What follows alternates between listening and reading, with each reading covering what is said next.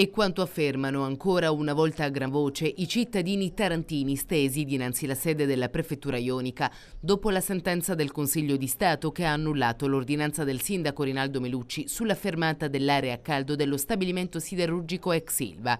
Non abbiamo più niente da perdere, ormai siamo condannati, sostengono, ad essere cittadini di serie B. Cioè è uno Stato che sta negando tutto praticamente, sta coprendo e sta, e sta, passando da sopra alle nostre vite. Noi non abbiamo più niente da perdere a questo punto. E a Taranto è sospeso lo Stato di diritto, in tutto il resto d'Italia c'è la difesa della salute, a Taranto questo principio non vale. A Taranto si difende la produzione, si difendono gli impianti di morte, a Taranto dobbiamo morire perché lo Stato deve continuare a produrre. Una sentenza che ha scelto le ragioni dell'azienda dando torto a quelle dei cittadini, tuona Alessandro Marescotti. I rischi sanitari a cui sono esposti i cittadini di Taranto che sono stati evidenziati evidenziati dalla recente valutazione danno sanitario, dal conteggio degli eccessi di mortalità nei tre quartieri più vicini all'area industriale e dalla recentissima ricerca sugli effetti neurotossici di piombo e arsenico sui bambini di Taranto.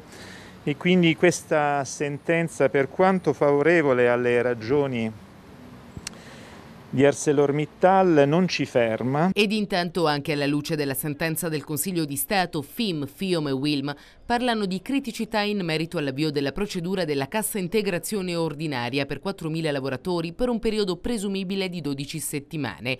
In assenza di una convocazione celere da parte dei ministeri competenti annunciano il 2 luglio è prevista assemblea con presidio dinanzi alla portineria direzione.